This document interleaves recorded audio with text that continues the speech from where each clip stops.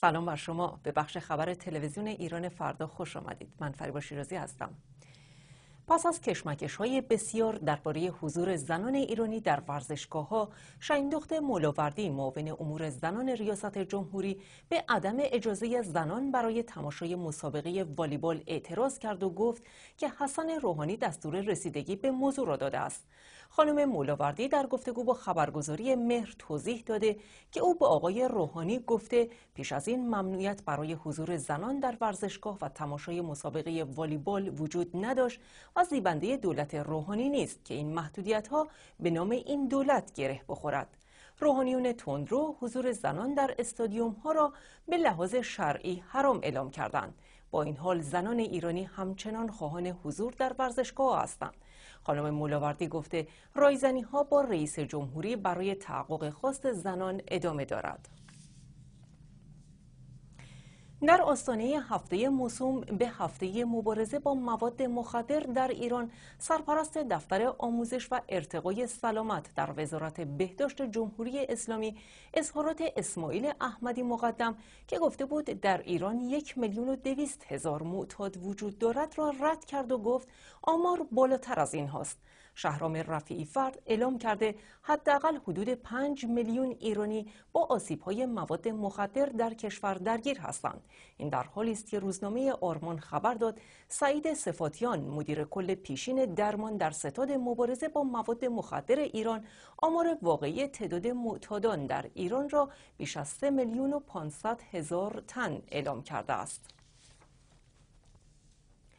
خبرگزاری آریا از احتمال جابجایی یونسی با نوبخت خبر داد و نوشت احتمالا محمد باقر نوبخت وظایف علی یونسی دستیار ویژه رئیس جمهور در امور اقوام و اقلیت‌های مذهبی را بر عهده می‌گیرد. برخی سخنان علی یونسی با واکنش های بسیاری از سوی تندروان محافظه کار مواجه شد.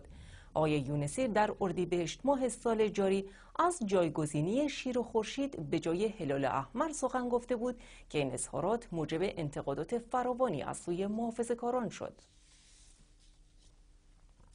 عباس عراقچی عضو ارشد تیم مذاکره کننده هسته ای ایران می‌گوید مذاکرات وین در فضایی مثبت و سازنده ادامه دارد.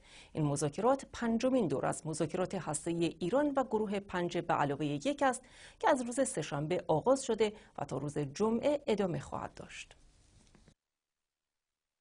عباس عراقچی معاون وزیر خارجه ایران پس از پایان روز اول مذاکرات هسته‌ای وین در کنفرانس خبری در جمع خبرنگاران گفت در مجموع در طول دو روز گذشته جلسات فشرده‌ای در وین محل برگزاری مذاکرات هسته‌ای جریان داشته و تغییر خاصی وجود نداشته جز اینکه بحث‌ها در فضایی سازنده و مثبت جریان دارد. مذاکره کننده ارشد ایران ضمن بیان اینکه دوازده تا سیزده ساعت جلسات مختلفی در سطوح مختلف داشتیم گفت هر دو طرف با جدیت مذاکره می کنند و بحث ها با جدیت ادامه دارد. عراقچی ادامه داد که این البته به معنای کوتاه آمدن نیست و هر دو طرف مواضع خود را دارند.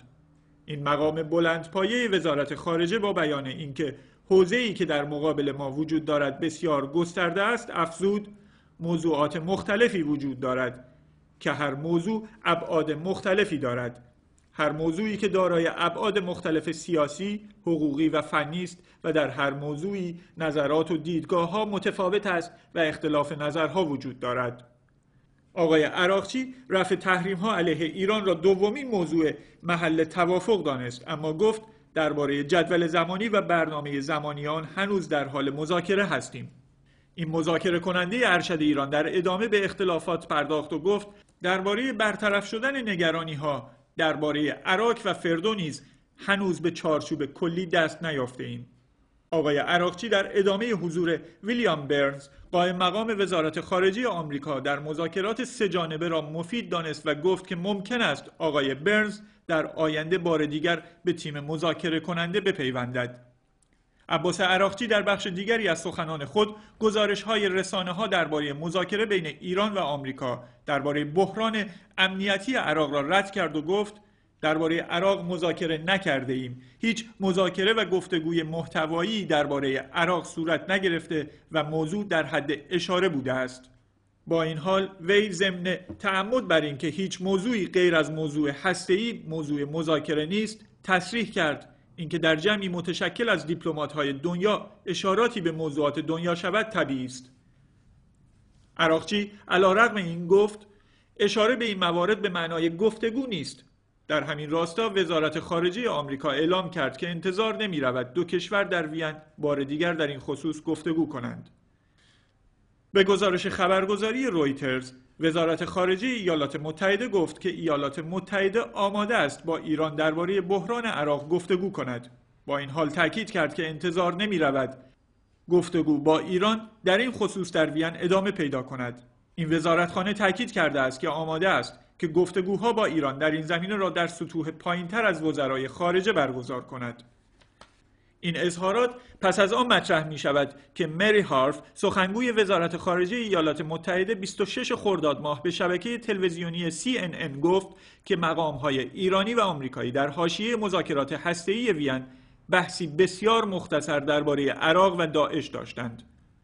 محمد جواد ظریف وزیر خارجه ایران نیز گفته است که در وین به موضوع عراق اشاراتی شده است. حسن روحانی رئیس جمهور ایران 24 خرداد ماه اظهار کرد که هرگاه آمریکا علیه داعش اقدامی کرد می شود درباره همکاری با این کشور فکر کرد در همین خصوص جان کری وزیر خارجه آمریکا نیز 26 خرداد ماه گفت که آماده است با ایران درباره عراق مذاکره کند 25 خرداد ماه نیز لیندسی گراهام سناتور جمهوری خواه آمریکا گفته بود که برای جلوگیری از سقوط دولت بغداد به کمک ایران نیاز است. یک روز پس از این اظهارات سناتور جان مکین با این پیشنهاد به شدت مخالفت کرد و گفت این رویکرد اوج نادانی آمریکا خواهد بود. گفتنی است مذاکرات وین پنجمین دور مذاکرات هسته ایران و گروه پنج به علاوه یک متشکل از آمریکا، بریتانیا، فرانسه، روسیه، چین و آلمان محسوب می شود که پس از توافق موقت ژنو در آذر ماه گذشته انجام می شود. دور پیشین این مذاکرات اما نتیجه چندانی در پی نداشت و آنگونه که طرفین از آن داشتند اختلافات همچنان باقی است این در حالی است که قرار بود نگارش پیشنویس توافقنامه اتمی در دور پیشین مذاکرات انجام شود چنانچه یک مقام دولت آمریکا و مذاکره کننده ارشد کشور چین نیز دوشنبه شب تاکید کردند کار نگارش این متن در جریان مذاکرات پیشین آغاز شده است. در ادامه جستجو برای یافتن سه نوجوان روبوده شده اسرائیلی نیروهای این کشور در کرانه غربی و نابلس 41 فلسطینی دیگر را بازداشت کردند. در پنج روزی که از روبودن این سه نوجوان میگذرد اسرائیل حدود دویست فلسطینی را که بیشترشان عضو حماس هستند بازداشت کرده است. اسرائیل حماس را به روبودن این سه نوجوان متهم کرده. اتهامی که حماس آن را رد کرده است. در همین حال بنیامین نتانیاهو نخست وزیر اسرائیل در تماسی تلفنی با محمود عباس رئیس تشکیلات خودگردان فلسطینی از وی برای یافتن نوجوانان روبوده شده کمک خواسته است. کابینه امنیتی اسرائیل دو روز پیش تصمیم گرفت فشار بر حماس را افزایش دهد. اسرائیل از ائتلاف حماس و فتح ناخشنود است و حماس را یک گروه تروریستی می‌داند که از پشتیبانی جمهوری اسلامی برخوردار است.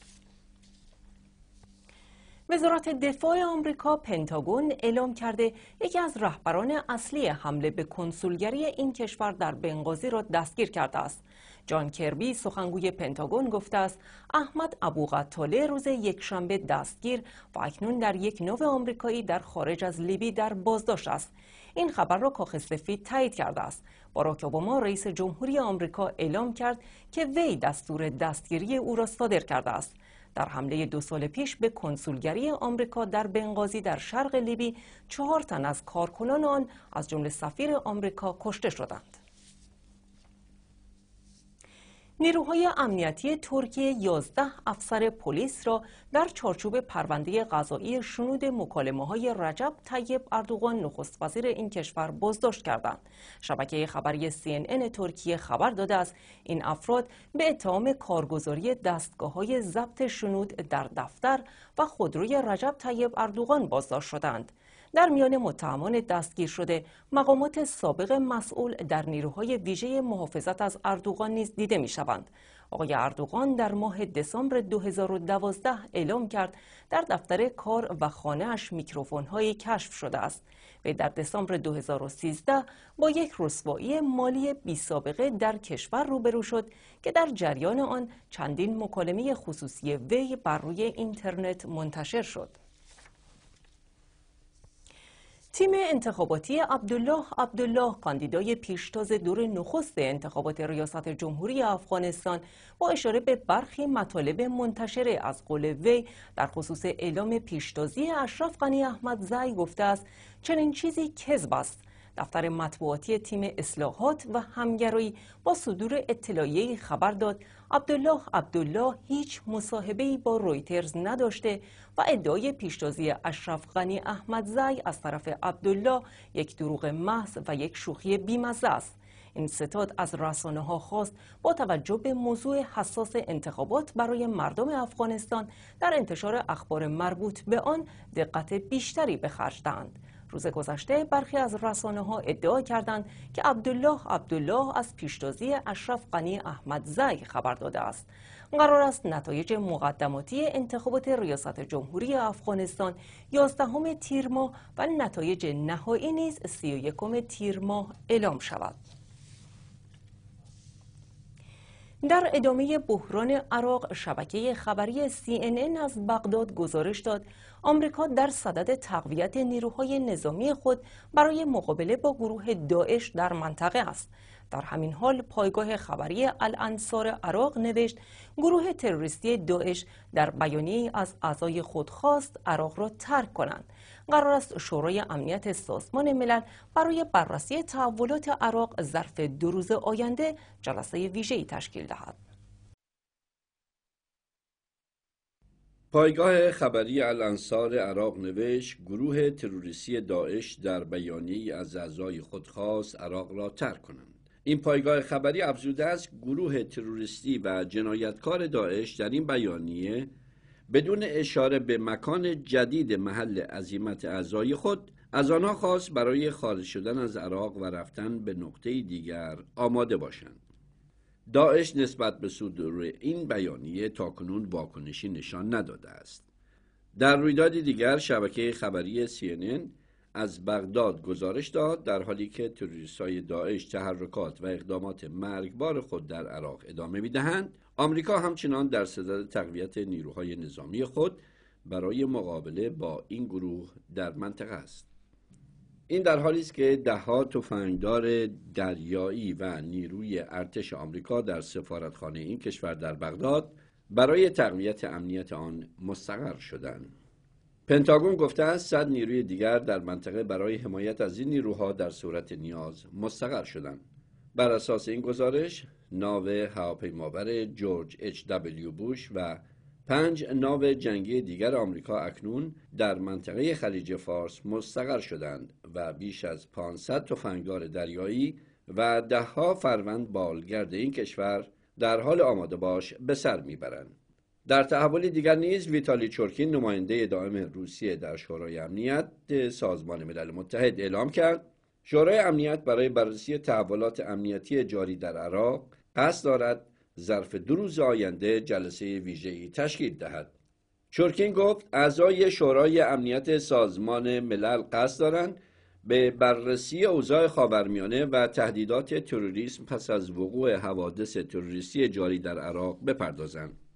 چورکین در ادامه گفت یکی از مشکلات ما در خصوص برخورد با مسئله تروریسم این بوده که این موضوع را در هر کشوری به صورت جداگانه مورد بررسی قرار می دهیم مثلا سوریه، عراق و یمن و سایر کشورها. اما بدتر از آن این است که برخی از کشورها دیدگاه های متفاوتی درباره تروریسم دارند. مثلا مبارزه با آن را در عراق میپذیرند اما مقابله با همین تروریسم را در سوریه نمیپذیرند. به افزود ما اکنون می‌بینیم که گروه تروریستی داعش چه در سوریه و چه در عراق یک چیز است و اقدامات تروریستی آن خطر جدی برای بغداد و دمشق به شمار می رود. بانکیمون دبیرکل سازمان ملل نیز با هشدار درباره خطر واقعی بالا گرفتن خشونت های فرقی در عراق و گسترش آن به منطقه با رهبران ایران، ترکیه و چند کشور دیگر تلفنی گفتگو کرد. بانکیمون همچنین گفت که دولت عراق باید در رویه خود در اداره این کشور تجدید نظر کند تا زمینه های تنش میان جوامع این کشور از بین برود. در رویداد دیگر هم ترکیه روز سهشنبه کنسولگری خود را در شهر بصره در جنوب عراق تخلیه کرد. به گزارش رویترز احمد داوود اغلو وزیر خارجه ترکیه گفته است که کارکنان این کنسولگری از جمله سر کنسول به دلایل خطرات امنیتی به کویت منتقل شدند اما برنامه‌ای برای تخلیه سفارت ترکیه در بغداد ندارند سید حسن نصرالله دبیرکل حزب الله لبنان نیز در همین رابطه گفت اگر حزب الله نبود گروه تروریستی داعش به بیروت می رسید. به گزارش روزنامه السفیر نصرالله در دیدار با فرماندهان نیروی کشاف المهدی گفت که اگر حزب الله در زمان مناسب و با شیوه و عملکرد مناسب در سوریه دخالت نمی کرد اکنون داعش در بیروت بود. در رویداد دیگر هم دولت عراق می‌گوید شبه نظامیان را از شهر بغوبه مرکز استان دیاله در 60 کیلومتری بغداد عقب رانده است. خبرگزاری از ادامه درگیری ها در حوالی بغوبه گزارش دادند. خبرگزاری فرانسه به نقل از مقام های محلی همچنین گزارش داده است که بیشتر بخش های تلعفر در فاصله موسل تا مرز سوریه همچنان در دست شبه نظامیان است اما نیروهای دولتی کنترل بخشی از فرودگاه را در دست دارند شبه نظامیان موسل، تکرید و فلوجه را نیز در اشغال دارند. دولت عراق همچنین اعلام کرده است که به دنبال شلیک خمپاره به پالایشگاه بیجی در شمال عراق این پالایشگاه تعطیل شده اما در کنترل نیروهای دولتی است. در تحول دیگر و در حالی که نبرد سنگین بین نیروهای ارتش عراق با پیکارجویان دولت اسلامی عراق و شام ادامه دارد نوری المالکی نخست وزیر عراق چند مقام ارشد نظامی را به دلیل ناکامی در متوقف کردن پیشروی نیروهای شورشی برکنار کرده است. بیانیه دولت می‌گوید که چهار فرمانده به دلیل خودداری از انجام وظایف دولتی از کار برکنار شدند. در همین راستا و بحران در عراق در حالی ادامه دارد که وبسایت خبری تابناک نزدیک به محسن رضایی از ثبت نام بیش از پنج هزار ایرانی برای مبارزه با شبه نظامیان داعش در عراق خبر داده است.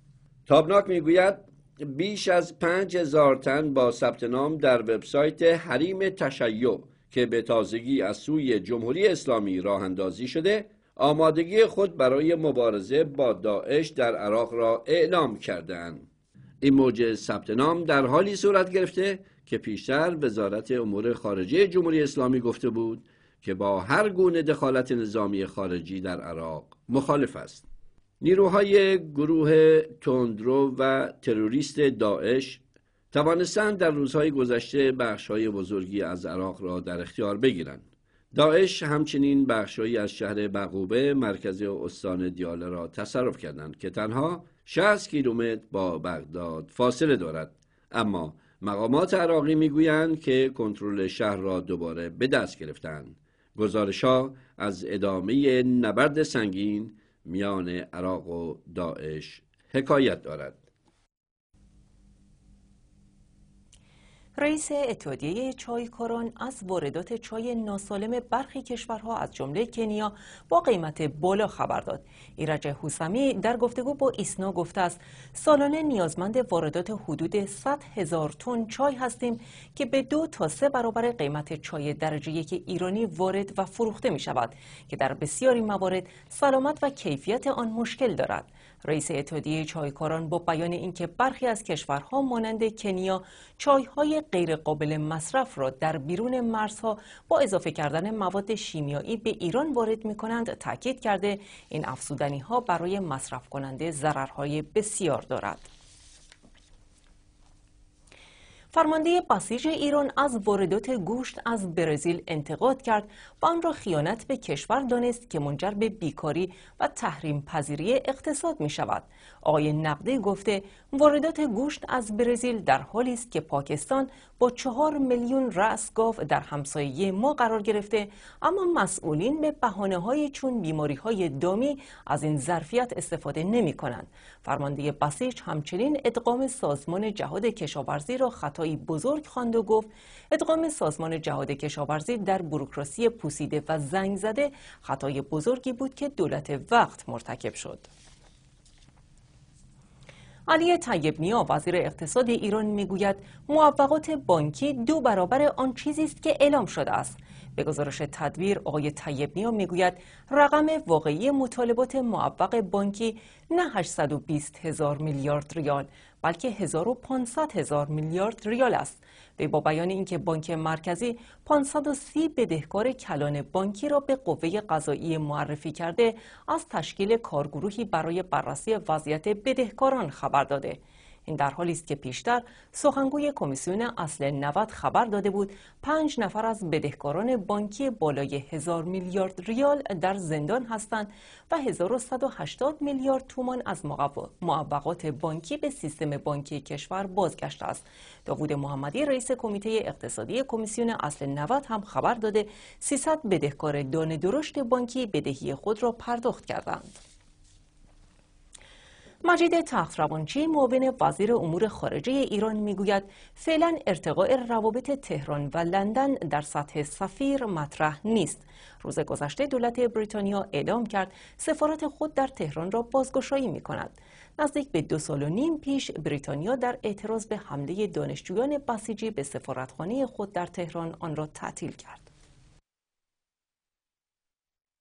به گزارش خبرگزاری جمهوری اسلامی ایرنا مجید تخت روانچی معاون اروپا و آمریکای وزارت خارجه. با اشاره به اظهار نظر مقامات انگلیس در خصوص بازگشایی سفارت لندن در تهران گفت که فعلا ارتقاء روابط با انگلیس در سطح سفیر مطرح نیست.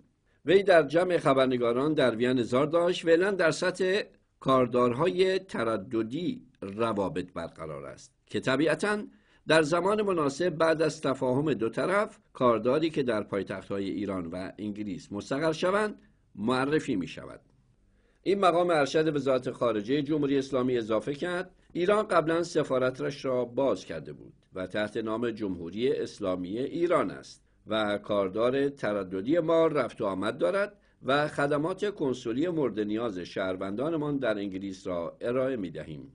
و یادآور شد که دولت انگلیس برای بازگشایی به زمان بیشتر نیاز داشت و باید مقدماتی را آماده می کردن. البته چند ماهی است که سفارت انگلیس از این حالت که سوئد حافظ منافع آن باشد خارج شده وی در پاسخ به این سوال که گفته شده از سفارت انگلیس بازگشایی می شود اما خدمات کنسولی ارائه نخواهد داد هم گفت انتظار از سفارت بعد از اینکه بازگشایی می شود شروع به کار کند معاون وزیر خارجه جمهوری اسلامی در پاسخ به سوالی درباره موضوع پرداخت خسارت به انگلیس نیز اظهار داشت فعلا این بحث مطرح نیست و در موقع خود اگر لازم باشد صحبت می کنیم.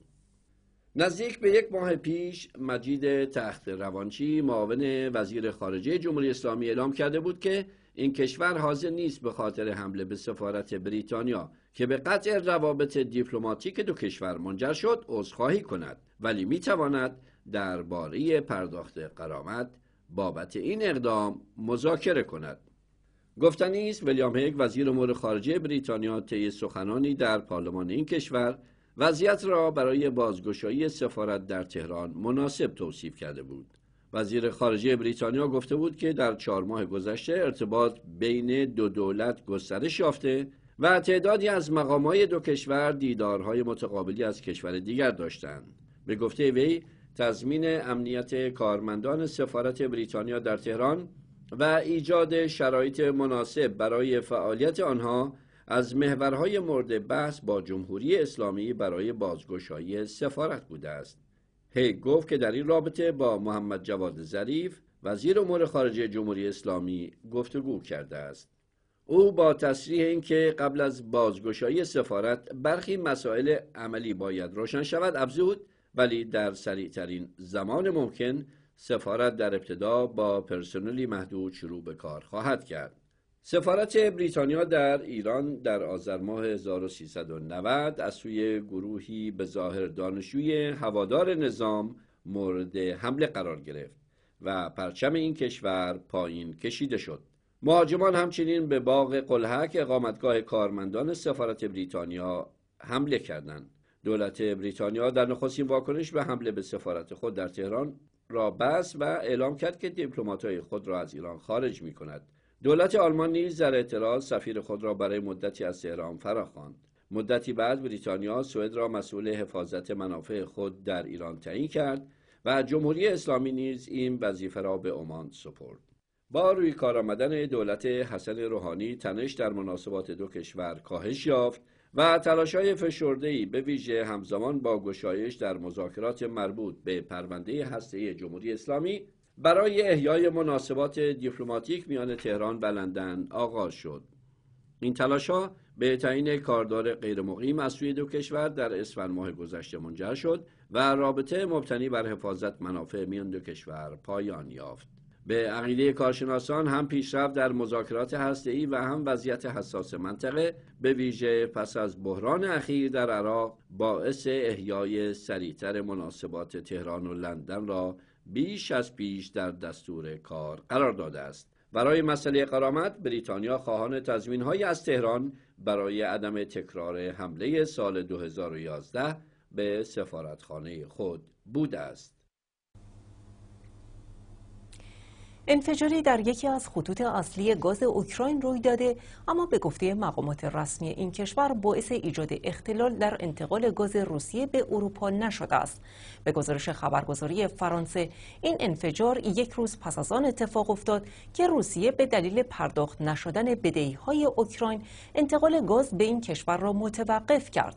در واکنش به این انفجار آرسن آواکوف وزیر کشور موقت دولت اوکراین در بیانیه‌ای وقوع این خرابکاری را متوجه روسیه دانست و گفت این اقدام تروریستی یکی دیگر از تلاش‌های روسیه برای بی‌اعتبار کردن اوکراین در بخش گاز است. معترضان برزیلی که به برگزاری مسابقات جام جهانی فوتبال در کشورشان اعتراض دارند به خیابانها آمده و بار دیگر با پلیس درگیر شدند. به گزارش خبرگزاری فرانسه معترضان پس از این تظاهرات به ساختمانهای دولتی و بانک ها حمله کرده و اقدام به تخریب و شکستن شیشای آنها کردند. پلیس برای متفرق کردن معترضان وارد عمل شده و شماری از آنها را بازداشت کرده است. معترضان در برزیل از پیش از آغاز جام جهانی اعتراضهای خود را علیه سیاستهای دولت این کشور آغاز کرده بودند. مصطفی پور محمدی وزیر دادگستری روحانی هم به ماجرای بهشت و جهنم ورود پیدا کرد و در سخنرانی جانب منتقدان دولت را گرفت و گفت ما باید راه بهشت را برای مردم هموار کنیم. محمد تقی مصباح یزدی نیز در اظهار نظری گفت سخنان برخی مقام های دولت یازدهم نشخار سخنان اصلاح طلبان است.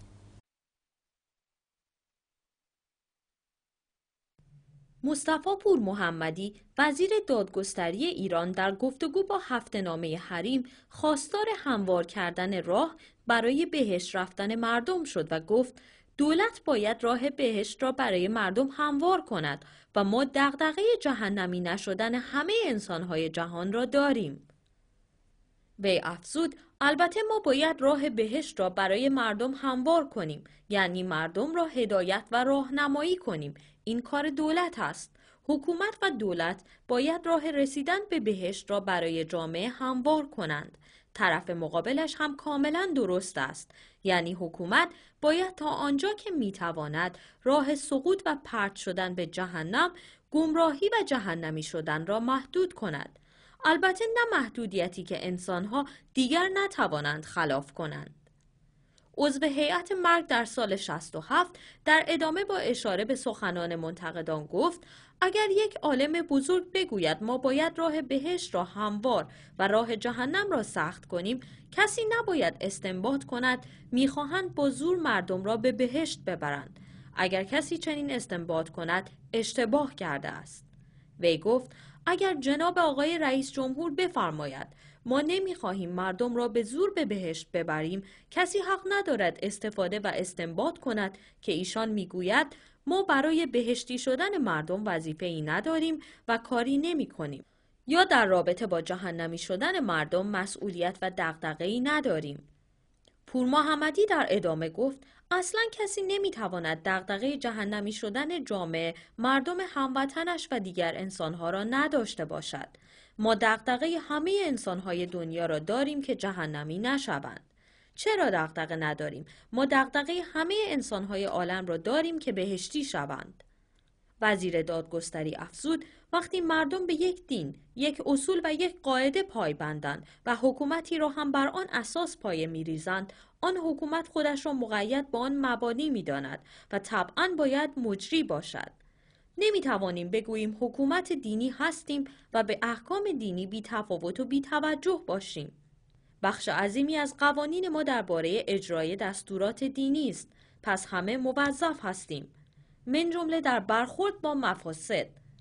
وی در پایان هم با تمجید از علی خامنه ای گفت ولایت فقیه مهمترین رکن نظام ماست و همه امور نظام ما بر این پایه دارد انجام می شود. امین راستا و در ادامه جنگ لفظی میان روحانی و محافظ کاران و در تازه ترین واکنش محمد تقی مصباح یزدی گفت سخنان برخی مقام های دولت یازدهم نشخار سخنان اصلاح طلبان است. به گزارش وبسایت آقای مصباح یزدی وی در دیدار با اعضای شورای مرکزی حزب مؤتلفه با بیان اینکه در زمان اصلاح طلبان نیز همین مسائل وجود داشت گفت برخی سخنان دولت مردان فعلی نیز نشخار سخنان اصلاح طلبان است.